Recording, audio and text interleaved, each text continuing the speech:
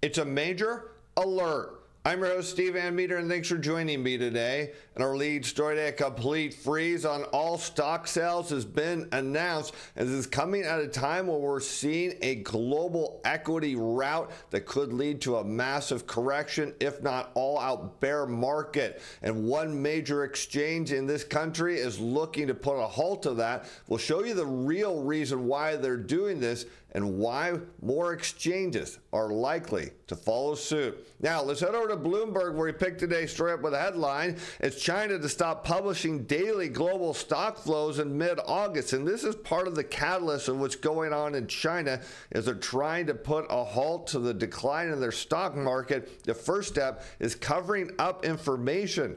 The decision, which was hinted at in April and made explicit by the country's stock exchanges on Friday, follows a move in May to end data on intraday flows through trading links with Hong Kong. Investors will lose the ability to calculate net flows at the end of each trading day from August 18th. And this is being done deliberately because they don't want people to know where flows are moving. Of course, what we note, I'm going to show you the exchanges are cutting down on the selling in a major way by putting a halt to it. But if you don't know what's going on in the markets and you can curb selling, well, it gives investors a reason to believe that maybe the bottom is in, and even though it's not, Starting from the August deadline, the combined data on so called northbound flows into individual stocks will only be made available quarterly, again, four times a year. And this is crazy, as data on the holdings of global investors in individual stocks will also be released on the fifth trading day of each quarter for the close of previous period. So here you see there's a big move in China to curb the information flow on what's going on with their equity markets. Again, this is is being done deliberately because the next major move, as you're about to see, is a curbing of selling. But one thing we think is going to move a whole lot higher, well, we just flagged this on our reports to our subscriber, and what we found was something that is sitting at its 10 year low. Can you believe this? As everybody is looking at tech stocks melting down, we found one of the biggest gems in the market, and you just have to subscribe to find out. And how do we do that? Well, we look at two ways. One is is our CTA Timer Pro. This is the machine positioning, and we screen the machine positioning each and every day across a broad range of equity, bond, commodity, and currency markets. We look for when they're in deep short positions, and when price moves against them, we flag that to our subscribers. We also look at momentum on a separate report. We take those signals like the RSI and the MACD. When you find out you get in late and out early, well, what happens, you'll turn to Momentum Timer Pro where we look at the signals over multiple time scales because we aggregate them together with a proprietary overlay. When momentum changes, it flags us. And in this case, because we scan such a wide range of securities every day, we found a huge gem. You don't want to miss out. Here's the best part you can find out what that is for free. You get the daily reports, the tradable signals. I give you my opinion on them every day. We give you the stop loss levels, we track the trades and the returns, and we update the stop loss levels each and every weekend. Here's the best part you can get that free trial by following the links in the description below. Because now let's head back to China where we find out the latest retreat from disclosure follows attempts by Chinese policymakers to prop up faltering confidence among local investors, which has been battered by an outflow of global funds. So, this is just one way if you can confuse everybody by blocking the data that they can access so they can't see outflows, well, that means they're working on a very limited amount of data. Of course, what this is all being done is to give Chinese investors confidence to buy stocks. I'm going to show you why this matters in such a big way because despite the coming into the daily data, data, investors will still be able to gauge the direction of fund flows into Chinese stocks through quarterly reports. But that isn't much. And even on top of that, the data is often subject to a lag of at least a month, has been prone to unexplained delays, which is no surprise in China because now they're cracking down on selling because this is an all out emergency in China. We note that their property market, they're seeing demand plummet like crazy. This is putting huge pressure pressure on the banks, which are over leveraged to the housing market. The economy around the world slowing. Demand for Chinese produced goods is slowing both externally and internally. Their whole economy is about to head into a massive crisis, and this is going to take the market down with them. And Beijing is looking to put an end to that quick. As China cracks down on short sales, quants, and hope to boost stocks, and now the regulator there has approved the CSFC to halt stock lending operations. It's an all out ban, and Chinese authorities, along with counterparts in South Korea and Thailand, have been among the most aggressive in Asia in restricting short sales and quantitative trading strategies in attempt to bolster share prices. Yet the moves have done little to address the root causes of weak markets, which in China include persistent concerns about its housing crisis, renewed trade tensions, and low consumer confidence. And so that's exactly kind of the narrative here. When you see consumer confidence fall, and we'll look at another chart of this, it has a great relationship with global equity markets because, of course, when consumers are not feeling confident, they don't spend, it backfeeds right into the equity markets. Under the new rules, investors will need to put down a margin deposit equivalent to 100% of the value of securities they seek to borrow for short selling. Until the change, the ratio had been at least 80%.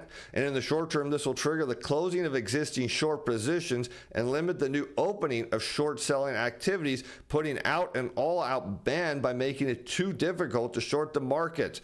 And of course, this leaves the A share Chinese market still performing on economic fundamentals and corporate earnings, which of course we know are only going to get worse. And so what we're seeing happening in China is the same issue we're seeing all around the world. And then today, that's right, on Saturday, the Chinese government just rolled out an action plan on boosting domestic consumption as the state council designates 20 steps to help the flagging economy. And you can see what a panic move this is because they're doing it on a weekend. This is dangerous. It's telling us the Chinese economy is about to plunge into an abyss, but it's too late. The policymakers waited too long.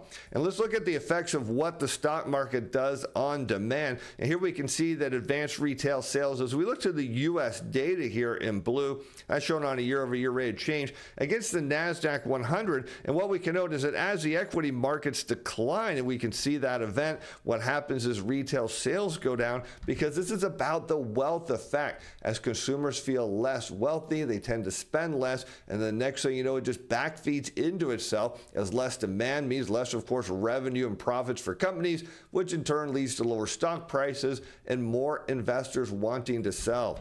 And this, of course, has everything to do with confidence. When consumers lose confidence in the economy, well, falling stock prices doesn't help. And you can see here, as consumer sentiment shown by the University of Michigan survey declines, well, it usually follows a decline in the stock market, as you see heading into the dot com bubble. And again, in the global financial crisis, here in the midst of what was almost a global recession, we see confidence dip, stocks went flat. And this relationship happened again between 2021 and 2022. Of course, we note the relationship to the upside as stocks rallied, consumers got confident.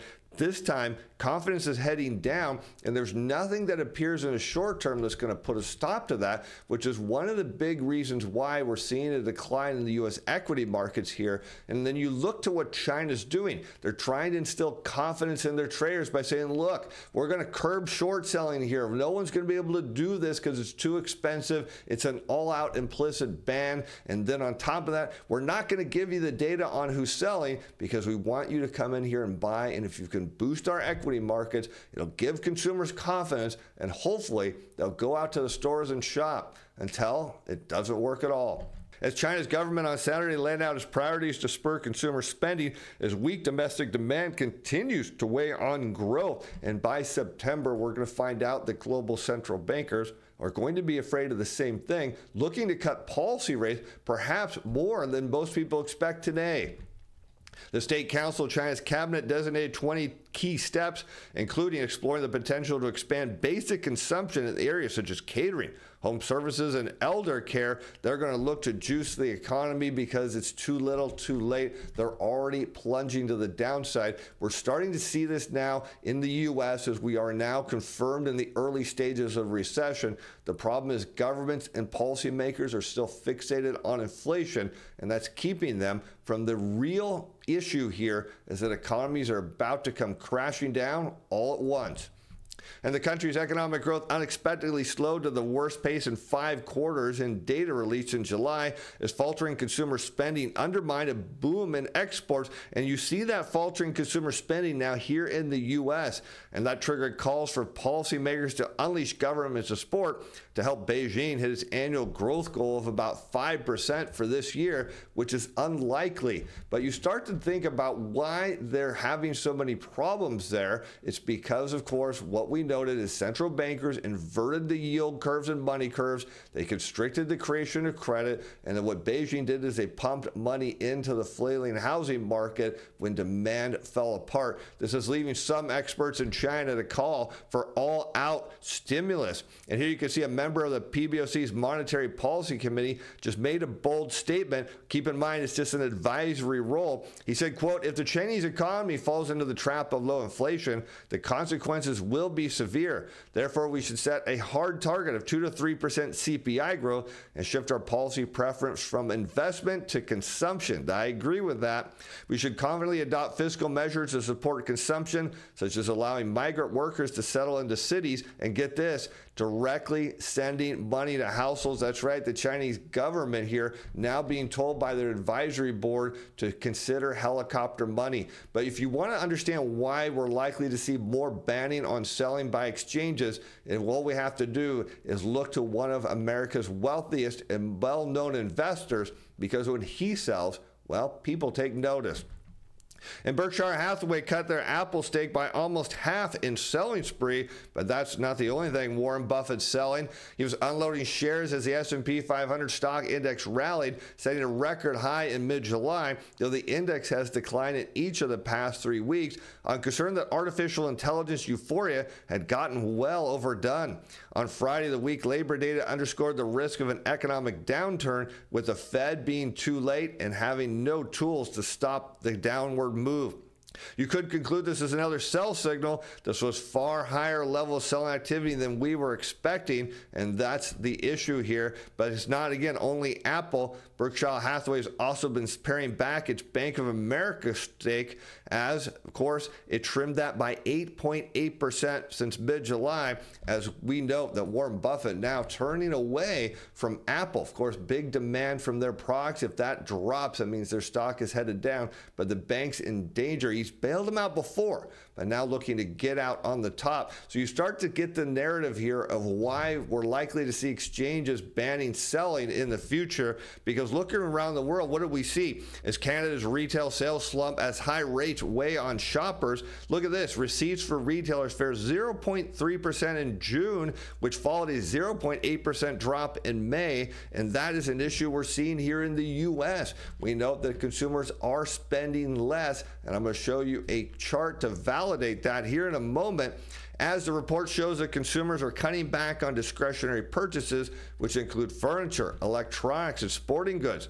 While the Bank of Canada cut its key policy rate to 4.75% last month, restrictive policy is weighing on Canadians, has everything to do with a lack of credit and Canadians' consumer spending continues to struggle with the impact of past rate hikes and higher living costs.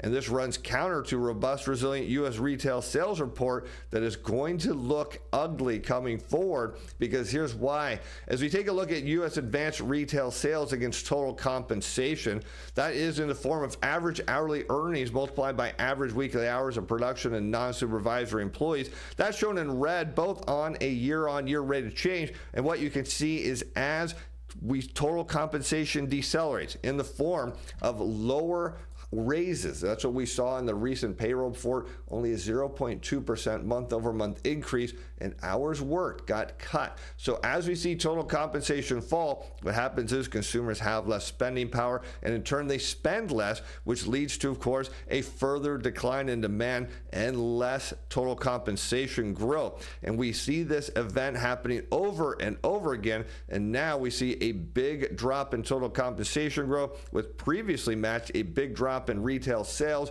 And we know, based on what we're hearing from McDonald's, Burger King, Wendy's, Taco Bell, Walmart, Target, you name it, they're all saying demand is plunging. And we can look over to UK now as retail store traffic falls as shoppers opt for holidays, or at least that's the hope, because the odds are they're not. The number of people entering stores fell 3.3% in July from a year ago, which exceeded the 2.3% decline a month before. This is something we recently covered in a show on Wendy's, who said that their same store traffic was down as well. Consumers spending more who go there, but actually the number, the volume declining.